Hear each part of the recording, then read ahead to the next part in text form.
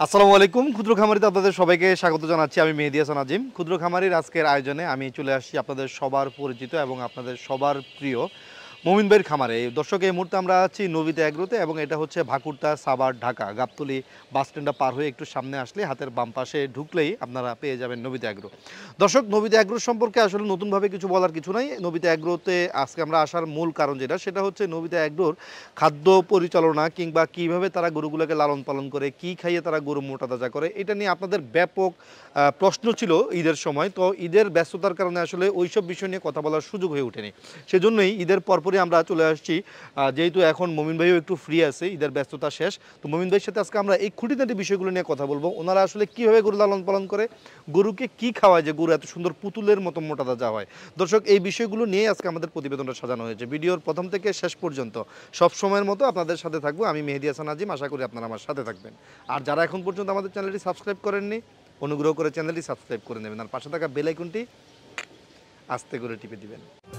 ক্ষুদ্র খামারি ক্ষুদ্র খামারি কৃষি আর কৃষকের খুব দরকারি।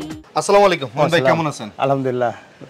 আপনাকে খামার থেকে এই খাবারের রুমে নিয়ে আসার মূল কারণ হচ্ছে যেটা, সেটা হচ্ছে ঈদের ভিডিওতে আপনি দেখছেন প্রচুর কমেন্ট ছিল যে আপনারা গরুকে কি খাওয়ান, কীভাবে গরু পালেন, যে গরুর গায়ের রং এরকম চকচক করে, গরু এরকম সুন্দর পুতুলের মতো মানে মোটা তাজা হয়, কীভাবে গরুটাকে মানে খাদ্য পরিচালনা কীভাবে করেন? খাদ্য পরিচালনা ভাইয়া বেসিক্যালি গরুর যে খাবার ম্যানেজমেন্ট গরুর খামারের সাথে অনেক বড় লাভ লাভের ইস্যুটা যেটা, সেটা হলো খাবার কীভাবে আপনি কত কম খরচে কত ভালো পরিমাণ, ভালো মানের একটা খাবার গরুকে সাপ্লাই দিচ্ছেন। তো এই ক্ষেত্রে কাজ করতে গিয়ে- আমি কিন্তু নিজের খাবার নিজেই কিন্তু তৈরি করে নিই। যেমন আমি যদি বলি আমরা কিন্তু জানি আপনি নিজের খাবার নিজে তৈরি করে নিজেই মানে নিজের খাবারটাই গরুকে খাওয়ান। তার পাশাপাশি আবার আপনার আশেপাশে যে খামারি আছে কিংবা আপনি খামারিদের একটা বেস তৈরি করেছেন হোয়াটসঅ্যাপে নলেজ শেয়ার এবং এটা একটা প্রোগ্রামও করেছিলেন আপনি এখানে জি জি জি। আমরা নলেজ শেয়ারের সেকেন্ড প্রোগ্রাম এই বছ- এই বছরই করব অল্প দিনই তো করব আশেপাশে যে খামারি মানে আপনার পরিচিত খামারি যারা আছে তারাও কিন্তু সবাই আপনার এই খাবারটাই তাদের খামারে ব্যবহার করে। হ্যাঁ আপনি কম খরচে ভালো মানে একটা খাবার দিতে হবে গরুকে। গরু আহ, না খেয়ে থাকলে আপনি না খেয়ে থাকতে পারবেন। পানি খেয়ে আদার্স খেয়ে বিস্কিট টিস্কিট খেয়ে থাকতে পারবেন। গরুর খাবারটা গরুকে রেগুল দিতেই হবে। যদি একবেলাও খাওয়ার যদি ডিস্টার্ব হয় গরুর, তাহলে এই গরুকে স্বাভাবিক রেঞ্চে স্বাভাবিক জীবনে নিয়ে আসতে হলে, জীবনযাপনে, তাহলে কিন্তু তার আর সাত দিন সময় লাগবে ওই লেভেলে সো গরুর খাবারটা কন্টিনিউ প্রসেস এখানটায় কোনো ব্রেক নাই। গরুকে সুন্দর একটা খাবার, একটা ভালো মানের প্রোটিনযুক্ত ভালো মানের একটা খাবার তাকে দিতে হবে, ঘাস পর্যাপ্ত ঘাস দিতে হবে। এই দুটাকে মাথায় রেখে আমি ফার্মে যদি বলেন, লাভের জায়গা কোনটা? লাভের জায়গাটা, এই জায়গাটাই আমার লাভের জায়গা। লাভের জায়গা আমি আপনাকে দেখাই। আমার কিন্তু এই যে সাইলেস হ্যাঁ এই সাইলেসে কিন্তু মানে সারা বছর পাবেন। হ্যাঁ সারা বছর মেহেদি ভাই সারা বছর সাইলেস পাবেন আমাদের ভুট্টা সাইলেস। আচ্ছা। এখন একটু কন কম যেহেতু ডাইসিজন চলে আসছে হ্যাঁ এই হলো ব্যাপার। তাও খুবই হালকা কন আছে এই যে সাইলেস হ্যাঁ। কারণ হচ্ছে সিজনে তো আসলে একটা গাছে দুইটা মোচা আসে মোচা কিন্তু আসে। আনসিজনে আসলে একটা গাছে একটা- একটা বেশি মোচা আসে আসে এবং মাসই পাবেন এটা হ্যাঁ। আচ্ছা। তাহলে সাইলেস আমার স্টক এনাফ হ্যাঁ? আচ্ছা, প্রাইস এখন কত টাকা করে এটা এগারো টাকা করে আমরা বিক্রি করছি এগারো টাকা করে সারা বাংলাদেশ? সারা বাংলাদেশে। আচ্ছা। আচ্ছা এরপর আমরা যদি দানাদার খাবারের দিকে যাই হ্যাঁ? তাহলে কিন্তু এই যে আমাদের দানাদার খাবার এটা আমাদের কিন্তু নিজস্ব মিল সেট আছে যেখান থেকে ক্র্যাশিং পদ্ধতিতে একেবারেই ভুসি যেটা বলে হ্যাঁ?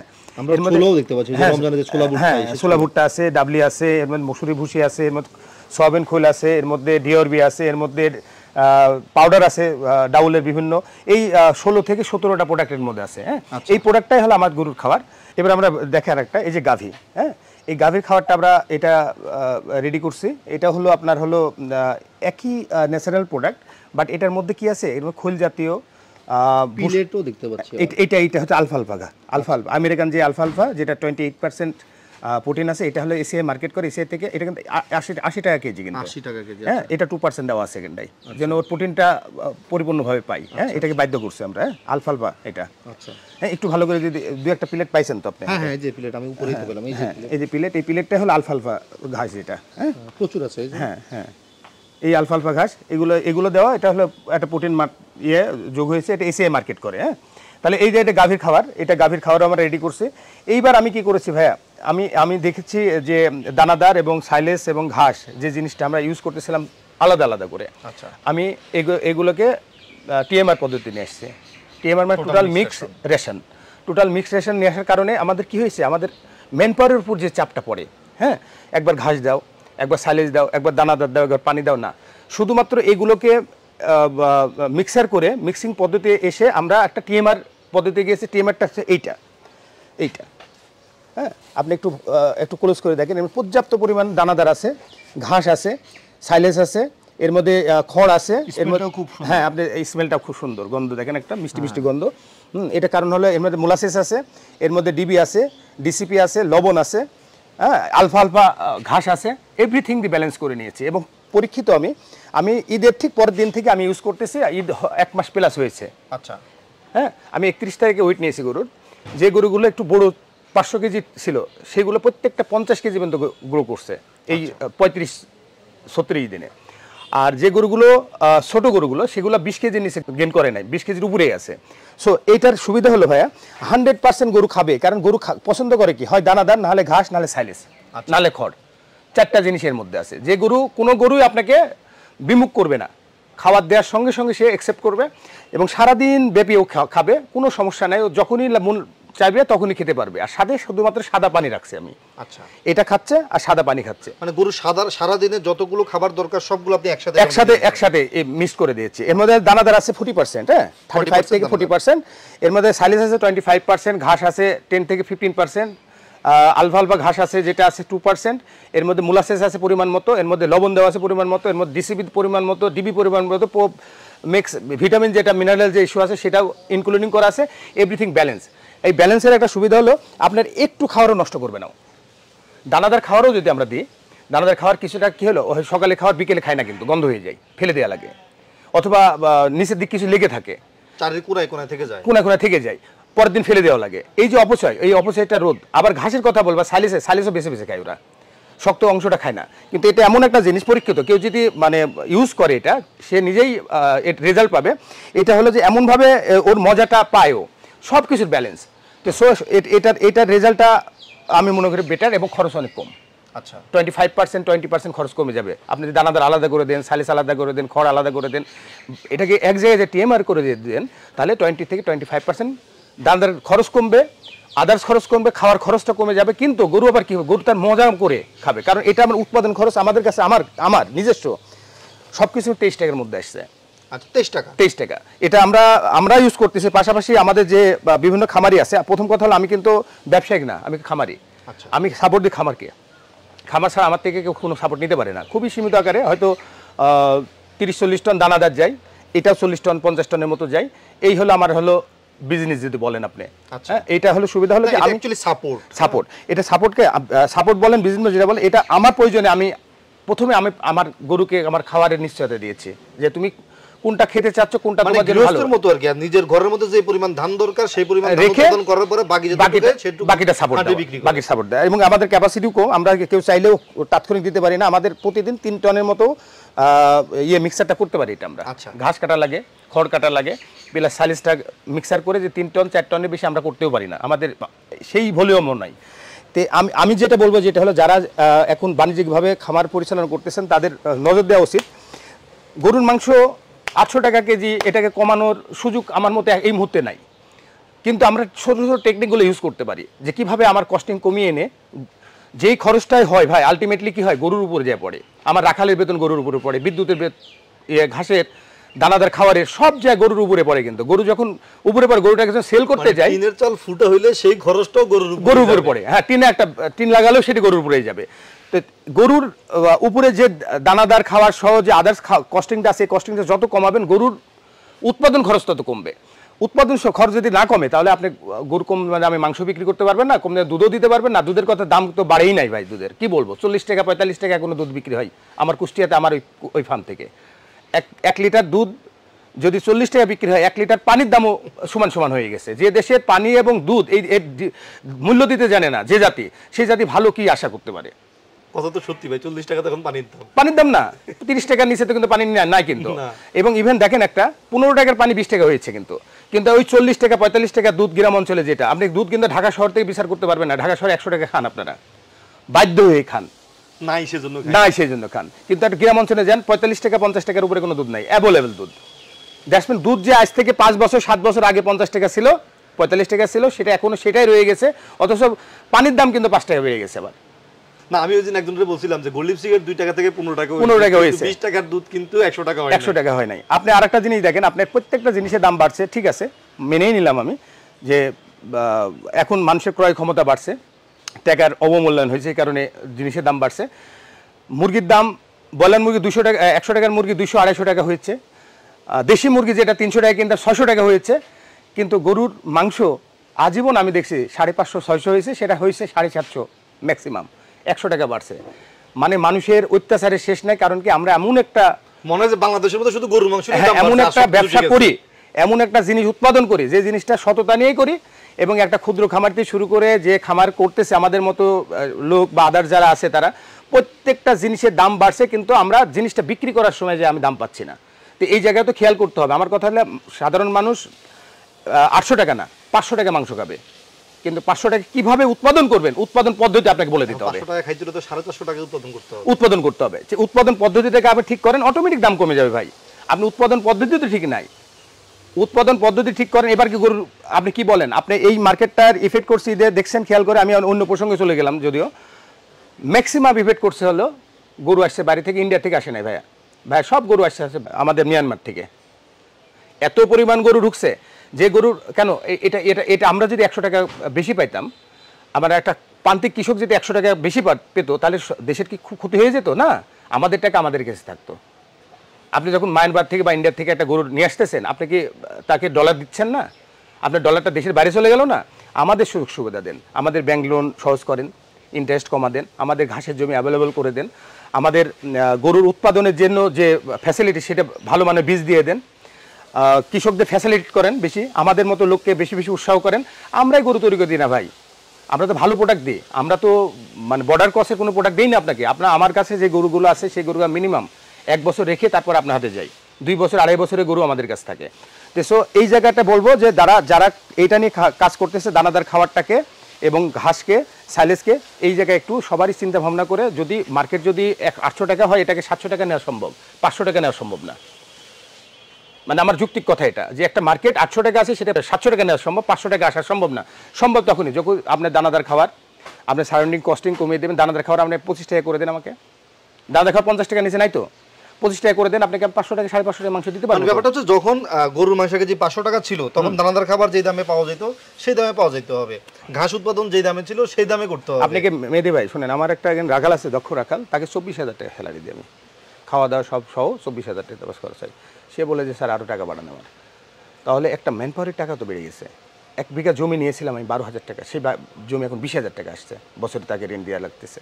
বিদ্যুতের বিল আসতে থাকে তিন হাজার টাকা, এখন সেটা আসে সাত হাজার, আট হাজার, দশ হাজার টাকা। অলিখিত, কোনো অ্যান্সার করতে পারেন ওষুধ, গরুর যে ওষুধ, আগে যে ফাইলটার দাম ছিল দুশো টাকা, সেটা হয়ে গেছে পাঁচশো টাকা। আপনি কোন জায়গাটায় আমাকে শান্তি দিয়েছেন যে আমি আপনাকে কম দামি প্রোডাক্ট দেবো? আমি কি এত দায়বদ্ধ আপনার কাছে?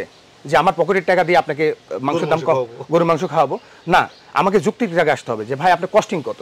কস্টিং আপনি ফেলেন। একটা গরু এই মুহূর্তে মার্কেট থেকে লাইভ ওয়েটে কিনতে গেলেও আপনি কখনো সাড়ে পাঁচশো টাকা নিচে পাবেন না। ছয়শো টাকার নিচে বাচ্চাগুলো সাতশো টাকা পড়বে লাইভ ওয়েটে এক কেজি জীবন্ত গরুকে দাড়িতে উঠাবেন যে ওয়েট হবে তার এগেনস্টে যে টাকা দেবেন তার ভাগ করলে ছয়শো সাতশো টাকা পার ওয়েট লাইভ ওয়েটে কিনবেন।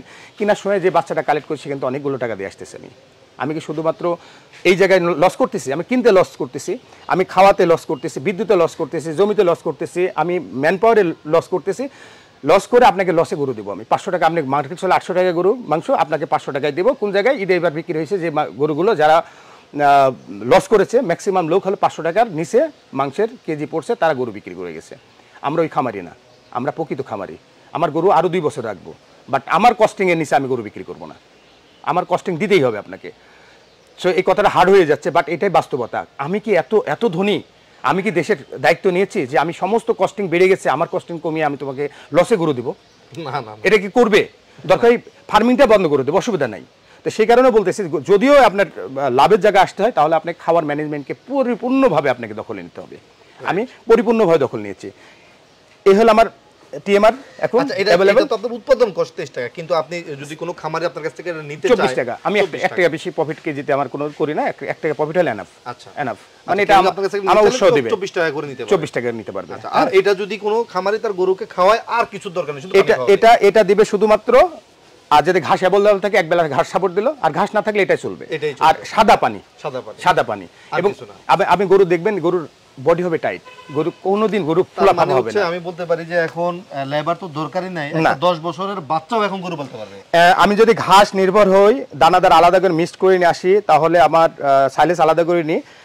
এখন হলো কস্টিং হলো শুধু দানাদারে টোয়েন্টি পার্সেন্ট তো কমবেই ম্যান পাওয়ার কমে যাবে। মিনিমাম দশটায় দুইটা।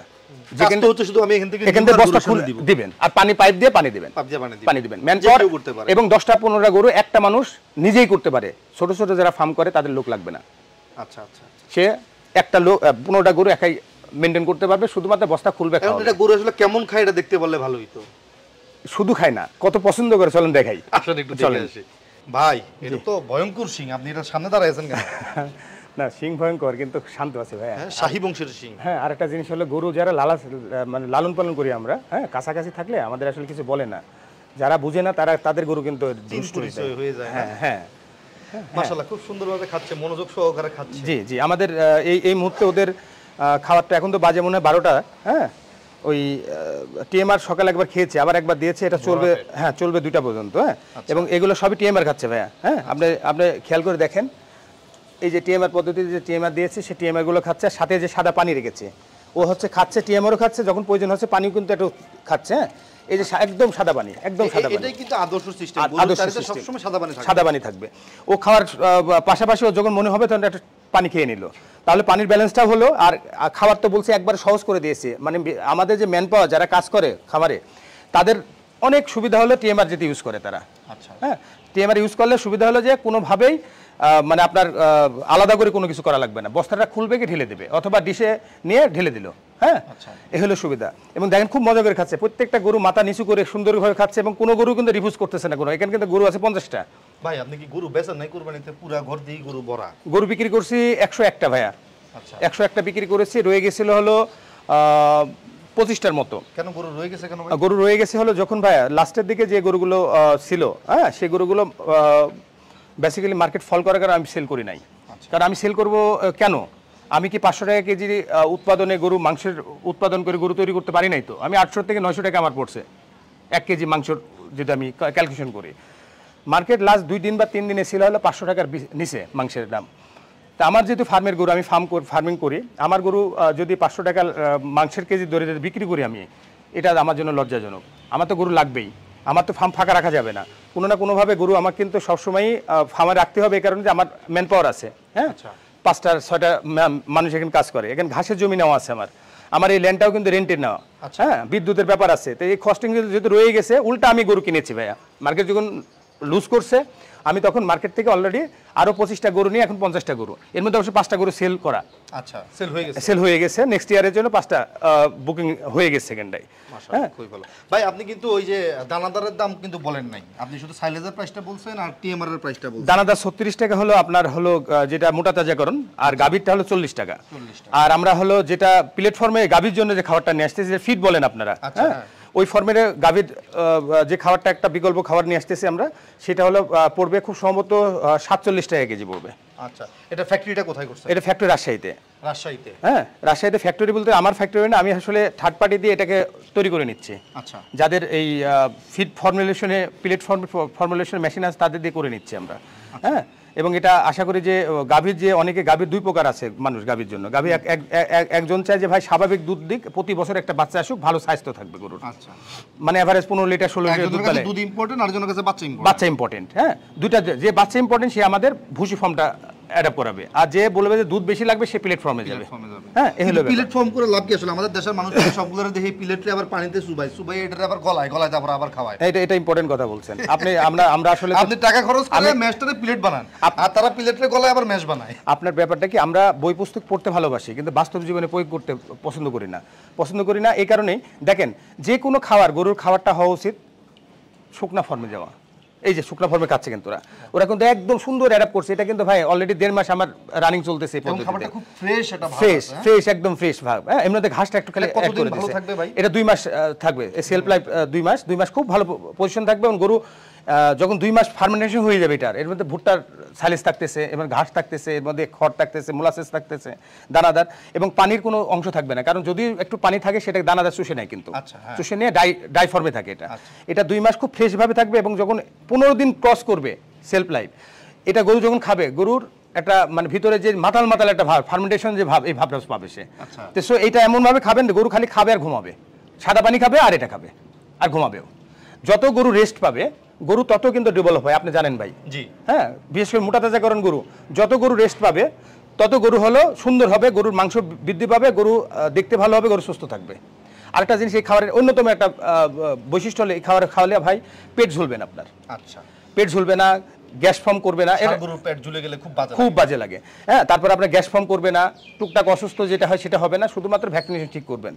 এবার বলি ভাইয়া এই মুহূর্তে ফার্মিং করে যারা তাদের জন্য দুইটা জিনিস খুব ইম্পর্টেন্ট মানে আপনার মহামারীকে ধারণ করছে এখন এফএমডি এলএসডি মানে একটা ল্যাম্পি আর একটা হলো খুরা রোগ। খুরা রোগকে আমি স্বাভাবিক মনে করি। কারণ খুরা রোগ হলে গরু অন্য কিছু হোক গরু কোনো অ্যাক্সিডেন্ট হয় না। হ্যাঁ গরু মর্টালিটি আসে না। কিন্তু এলএসডিতে মর্টালিটি তো আসবেই এবং এলএসডিতে গরু হয় সেই গরু কিন্তু আপনি কুরবানিতে বিক্রি করতে পারবেন না। গরু কিন্তু মাংসেই বিক্রি- দামে বিক্রি করতে হবে। এবং এর যে হ্যাসেল এই এই পরিমাণের এর পিছনে ইনভেস্ট ওষুধের খরচ, এগুলো কিন্তু বিশাল ব্যাপার। সারা বাংলাদেশে জর্জরিত এলএসডি এলএসডিকে মহামারী হিসেবে, রোগ হিসেবে, যেমন করোনাকে আমাদের মহামারী হিসেবে ই করছে, গরুর ক্ষেত্রে এলএসডিকে মহামারী হিসেবে ঘোষণা করা উচিত এবং প্রপার কোনো ট্রিটমেন্ট নেই। কোনোভাবে প্রপার ট্রিটমেন্ট নেই। এখন এলএসডিকে নিয়ন্ত্রণ করা করতে যারা কাজ করতে তারা কাজ করা উচিত। আমাদের উচিত হবে নতুন গরু গরু পুরাতন গরুর মধ্যে না নেওয়া। কোনোভাবেই না। কোয়ারেন্টাইন ব্যবস্থা কোয়ারেন্টাইন কঠোরভাবে মানতে হবে। এবং অবশ্যই মিনিমাম এক মাইল দূরে কোয়ারেন্টাইন করতে হবে। যদি আপনি মনে করেন যে বিশ তিরিশ চল্লিশ ফিটের মধ্যে করবেন এটা বাধা দেবেন। আমার কিন্তু আলহামদুলিল্লাহ এখন এই দুইটা জিনিস একটাও হয় নাই কারণ আমি নতুন গরু যেগুলো নিয়েছিলাম ফান থেকে নিয়েছিলাম। আচ্ছা। আমি কালেক্ট করেছি আবারও বলতেছি বাজার থেকে গরু কালেক্ট করে না আমি অন্য একটা খামারের থেকে কালেক্ট করেছি গরু। দ্যাটস মিন আমার হলো খামার থেকে খামার ট্রান্সফার হয়েছে। এখন যারা গরু কালেক্ট করবেন, প্রথম কথা খামার থেকে খামার গরু নিয়ে চিন্তা করেন, হাট থেকে গরু নিলে সেই গরুটা কঠোর কঠোরভাবে আপনার কোয়ারেন্টাইন রাখতে হবে। আর এলএসডি উত্তরবঙ্গ সাফ করে দিয়েছে। আমাদের কুষ্টিয়া বাসা, কুষ্টিয়া এলাকায় কোনো গরু ভালো গরু পাবে না। যদিও ভালো দেখা যাচ্ছে, নিয়ে আসার পরে তিন দিন, চার দিন পরে তার গায়ে কোনো না কোনো র্যাশ বাড়াচ্ছে। এই এলএসডির যে লক্ষণগুলো সেগুলো ফুটে উঠতেছে। এলএসডি কিন্তু যতই বলেন ভ্যাকসিনেশন অমুক তমুক এগুলো দিয়ে কোনো কাভার হবে না কিন্তু। কোনোভাবে খাবার না। আপনাকে বায়োসিকিউরিটি মেনটেন করতে হবে। আপনি গরু পরিষ্কার পরিচ্ছন্ন থাকবে মশা এবং মাসিকে দূর রাখতে হবে। মশা মাসিকে আপনি যদি নিয়ন্ত্রণ করতে পারেন, তাহলে আপনার নাইনটি পার্সেন্ট রোগ কিন্তু খামার থেকে চলে যাবে। মশা মাসি মাসিকে নিয়ন্ত্রণ করাটা একটা বড় চ্যালেঞ্জ যে চ্যালেঞ্জকে অতিক্রম করতে হবে, আমি যারা খামারি ভাই আছে, ভিডিওটা মেবি খামারি ভাইরা বেশি দেখবে, তাদের প্রতি অনুরোধ, এই মুহূর্তে গরু কালেক্ট করেন না, যদি কালেক্ট করা লাগে, তাহলে খামার থেকে কালেক্ট করেন, তারপরে ঘাটে থেকে যদি গরু কালেক্ট করেন, হাটে কিন্তু গরুর দাম কম নেই। হাটে আপনি গরু কিনতে যান, আপনি চ্যালেঞ্জ করলাম পাঁচশো টাকা লাইভ ওয়েটের নিচে কোনো ভালো জাতের গরু পাবেন না আপনি। পাঁচশো টাকা করে। বড়গুলো, আর ছোটোগুলো সাতশো টাকা লাগবে আপনার। ছোট গরু যেগুলো বাচ্চা, বাছুর বলি আমরা, এক বছরের নিচে সেগুলো কিনলে লাইভ ওয়েট সাতশো টাকা পড়বে এই মার্কেটে আর বড় যে গরুগুলো আছে সেগুলো পাঁচশো, সাড়ে পাঁচশো, ছয়শো টাকা পর্যন্ত পড়বে। ভালো ভালো মানের। ক্রসগুলো সেগুলো বাদ দিলাম। সাড়ে চারশো পাবেন, চারশো বিশ তিরিশও পাবেন এটা। এই মুহূর্তে বাজার থেকে গরু দিয়ে কালেক্ট করতে হয়, যেহেতু খামার ফাঁকা, অনেক সময় অন্য খামারের কাছে গেলে হয়তো দাম টাম সবাই তো ছাড়তেও চায় না। করতে হয়, কঠোরভাবে আপনার এই কোয়ারেন্টাইন করে আসতে হবে আপনাকে এবং প্রপার ওইতে আমার আবারও বলছি, মাসিকে বিশেষ করে মশা এবং মাসিকে নিয়ন্ত্রণ করতেই হবে আপনি। করলে আপনি বায়োসিকিউরিটির নাইনটি পার্সেন্ট কাভার করবেন, রোগ বালাই নাইনটি পার্সেন্ট নাইনটি না নাইনটি নাইন পার্সেন্ট বলব আমি, বের হয়ে যাবে। মাসি এবং মশাকে নিয়ন্ত্রণ করে সুন্দর পরিষ্কার পরিচ্ছন্নের মাধ্যমে খামারকে পরিষ্কার করে তারপর আপনি গরু কালেক্ট করেন। মমিন ভাই, আমাদের ভিডিওটা অনেক দীর্ঘায়িত হয়ে যাচ্ছে, সময় সংকীর্ণ। তা আমরা ভিডিওটা শেষ করে ফেলব। শেষ করার আগে আমাদের দর্শকদের উদ্দেশ্যে যদি আপনার কিছু বলার থাকে, আপনি বলতে পারেন। আমি যারা খামারি, দর্শক বল- বলতে গেলে আমি খামারিদের উদ্দেশ্য বলব, খামারি ভাইদের উদ্দেশ্য বলতেছি, সেটা হলো বুদ্ধিমত্তা দিয়ে এখন খামার পরিচালনা করতে হবে। এক হলো দেশের, এবার কোরবানি অনেক কম হয়েছে। হওয়ার মেন কারণ হলো আমাদের দেশের যে আর্থিক অবস্থা, মানুষের ক্রয় ক্ষমতা অনেক কম। এই কারণে গরু যতটুকু সম্ভব আপনাকে কম গরু নিয়ে আপনি ফার্মকে পরিচালনা করেন, গরু কালেক্টে করার সময় খেয়াল রাখেন যে গরুতে কোনো রকম এলএসডি এফএমডি এগুলো যেন আক্রান্ত না হয়। ভালো কোয়ারেন্টাইন করে গরু কালেক্ট করেন, ভালো বিডের গরু কালেক্ট করেন। ভালো বিড মানে আমি আবারও বলি, আমার কিন্তু এটা ডায়লগ এটা, যে ভালো বিড আপনাকে জানান দেবে যে আমি ভালো বিড আমি ভালো বিড আমাকে নাও। বাজারের মধ্যে দুশো গরু থাকবে, পাঁচশো গরু থাকবে, ওর মধ্যে চারটা থেকে পাঁচটা গরু আপনাকে বারবার ডাকবে যে আমাকে নাও। এই যে বিট চেনার ব্যাপারটা, যদি না চিনেন পার্সোনাল আমার সাথে কথা বলতে পারেন, আরও এক্সপার্ট যারা খামারি আছে তাদের কথা বলতে পারেন। ভালো বিট বায়ো সিকিউরিটি যেটা বললাম মশা মশামাছি নিয়ন্ত্রণ করা, পরিষ্কার পরিচ্ছন্নতা এবং কোয়ারেন্টাইন, এই তিনটাকে প্রায়োরিটি দিয়ে এখন গরু, নতুন গরু উঠাবেন আপনারা। আর আমার যে পদ্ধতি বলে সবসময় আমি চাই যে আমার ভিডিওর মাধ্যমে আমাদের খামারি ভাইয়েরা তারা উপকৃত হোক। আপনার টিএমআরে চলে আসেন। টিএমআরে আসলে টোয়েন্টি থেকে টোয়েন্টি ফাইভ পার্সেন্ট কিন্তু আপনার কস্টিং কমে যাবে। ইভেন রাখালের, উভার যে রাখালের যে চাপ থাকে মানে রাখাল বলে আমরা যে কাজের লোক বলি, আমাদের খামারের যে সহযোগী যারা, এই সহযোগী যারা আছে, তাদের কিন্তু দেখা যাচ্ছে পঞ্চাশটা গরুর জন্য পাঁচটা রাখাল লাগে। না, দরকার নাই, তিনটা রাখালে কভার করতে পারবেন আপনি। দ্যাটস মিন এটা খুবই সহজ পদ্ধতি। সাদা পানি আর বস্তা খুলে টিএমআরকে ঢেলে দেওয়া।